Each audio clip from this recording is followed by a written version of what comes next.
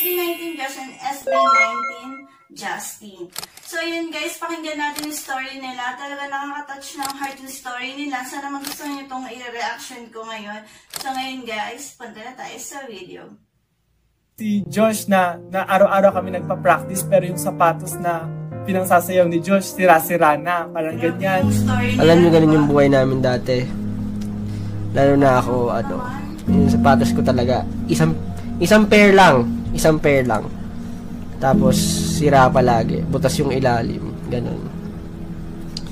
Butas yung ilalim. Tapos, medyo, ano yun, pagtatawa lang ka na, ganun, bakit yung sapatos mo palitan mo na? Eh, hindi mo nga kaya palitan eh, kasi wala ka ng pera. Umaabot na sa mga point na ganun. Si, si Pablo, humingi ako sa kanya Nang sapatos. Tapos, yung sapatos na yun, matagal kong ginamit. Tapos, ayun, yun yun na yung mga nasira na ng sapatos at wala akong choice, kundi gamitin lang. So, pumapasok ako lagi, sira yung sapatos ko, ganyan, nagta-training ako. So, ayun, tapos ayun nga, wala kami laging kinakain.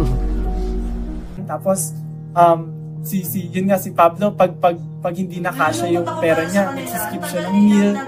Minsan hindi kasi siya nakakawin dahil sa training, so hindi siya nakakapagbaon. So, kinabukasan, wala siyang kakainin. So, pag walang, kung si Sejun, nung may baon siya, nakikiburaot lang ako. As in, ganun-ganun ako.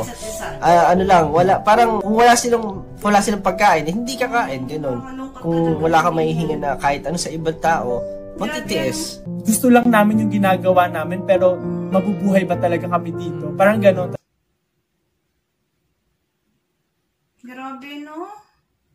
Grabe yung pinagdaanan ng SB19, guys, di ba? Nakakalungkot talaga pag ganun kapos ka sa pera, kapos ka sa budget, pati shoes mo, wala ka talagang maisuot, di ba? Nakaka... Sobrang emotion ko nung pinakinggan ko yun. Talaga nakatingin ako kay Josh at kay Justin. Um, sana nagustuhan nyo itong aking video at kung nagustuhan nyo itong aking video, huwag nyo kalimutang mag-like, share, and subscribe to my channel. Thank you guys. See you in my next one. Bye. Bye.